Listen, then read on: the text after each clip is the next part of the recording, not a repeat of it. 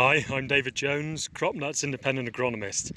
This is the very, very end of our trial site in Timau for the end of the 2018-2019 season, but I want to show you some very, very interesting observations between seed rate and row spacing interactions in barley.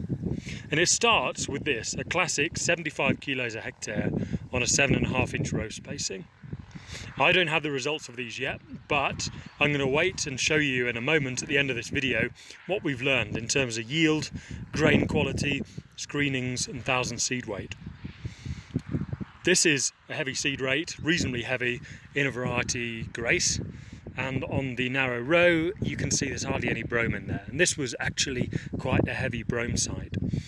And it's really good canopy cover totally enclosed and you can just about make out the tops of the rows now if I show you here 75 kilos a hectare on a 15 inch row, all of a sudden you can see the space occurring and the weeds ingressing. We deliberately left the broadleaf weeds and the brome grass here and you can see amaranthus.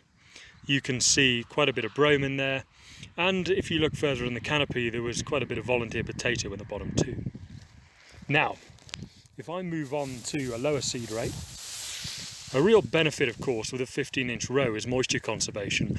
Not only can you moisture seek by getting in deep and throwing soil away from the trench so that you can get down to moisture and put the seed at a safe depth, it also means that there's a gap between that row where you can plant and the crop has got time to build tillers. If it gets short of moisture, it sheds tillers and there's plenty of moisture in the ground between the rows. And the evidence is that in a lot of yield environments, it certainly helps grain specific weight, thousand seed weight and screenings. So this is 45 kilos now on a narrow row, and it doesn't look a great deal different to the 75 kilos, but you can see a lot more brome in there. On to the final one, 45 kilos, low seed rate on a wide row. There's a lot of brome in there.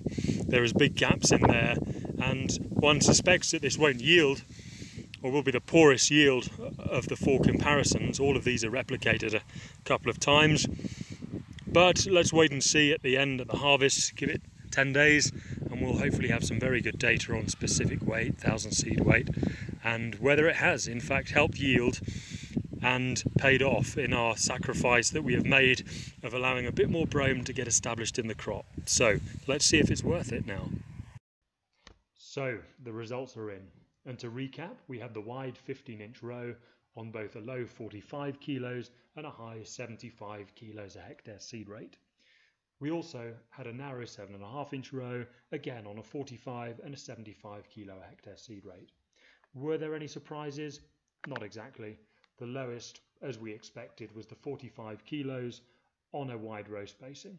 Slightly above that was 75 kilos a hectare, also on the same wide row spacing.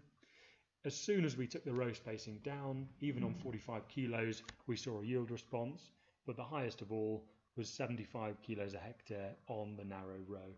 All of these were replicated and were highly statistically significant. I should add that we also looked at grain quality, so specific weight. We looked at screenings and we looked at thousand seed weight, and there were no differences between any of the treatments whatsoever. So certainly gives us food for thought when you're thinking about a planter, your yield environment, and where to go with this. I would have a good look at the Australian data, a good look at the European data, and ultimately you've got to decide which end of the spectrum you're closest to. One trial, one season, but really get the row space to suit the system and don't get too hung up. Just plant well, right variety, right nutrition, and row space will follow.